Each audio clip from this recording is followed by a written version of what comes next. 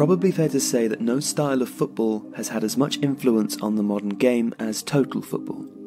The style is most associated with the Ajax and Dutch national teams of the 1970s, and in fact, it got its name from the 1974 Netherlands World Cup side. But it had its roots in the Austrian national side of Matthias Sindelar in the 1930s and Ferenc Puskás and co.'s Hungarians in the 1950s, and the lineage of Ajax's way originated with two English coaches, Jack Reynolds, who managed the club in three spells between 1915 and 1947, and Vic Buckingham, who managed them twice between 1959 and 1965. Then came the pairing who really created the style. Rinus Michels, who had played under Reynolds and replaced Buckingham in the dugout, and Johan Cruyff, perhaps the most significant figure in European football ever.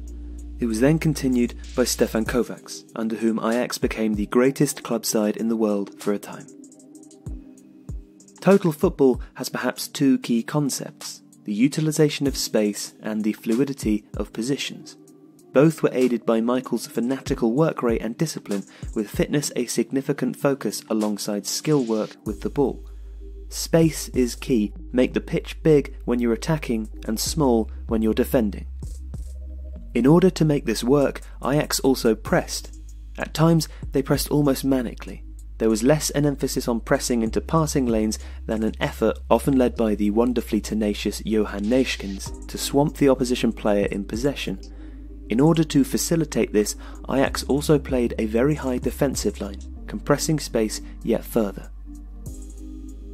The formation most associated with total football is the 4 3 3, becoming a 3 4 3 as the libero steps up into midfield a feature that persisted in Dutch football with players like Barry Hulshoff, Horst Blankenburg, and Danny Blind, and started largely at Ajax by the Serbian Velibor Vasović.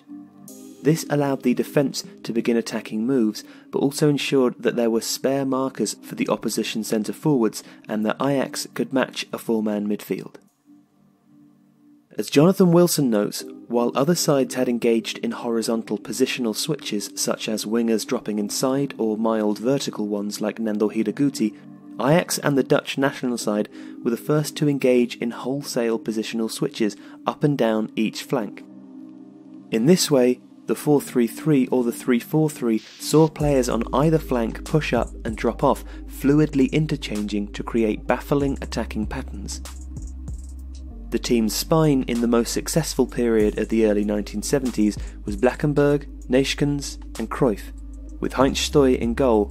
The wide players, Wim Suurbier, Arie Haan, who later became an accomplished sweeper, and Johnny Rep on the right, and Ruud Krol, Gerrie Mühren, and Piet Keizer on the left, all swapped with each other, knowing that this spine would hold and cover.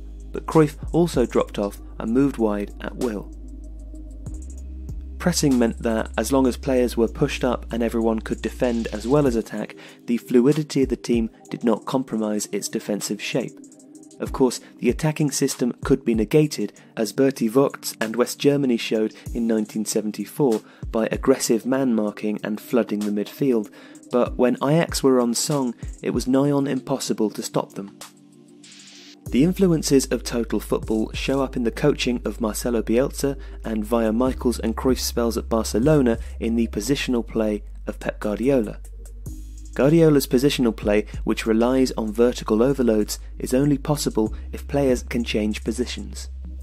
And both Bielsa and Guardiola encourage their teams to control space, interchange, press and have encouraged players to play in roles that they aren't used to, where their skills as midfielders allow them to be attack minded defenders, for example.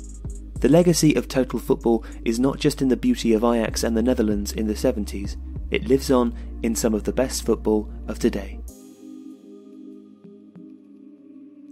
People often ask us where we get our stats for these videos. Uh, a great place to start is the OneFootball app. The app offers a fairly comprehensive statistical coverage of teams and players in game and post match, so there's a link in the description of this video if you'd like to download it. Thanks for watching.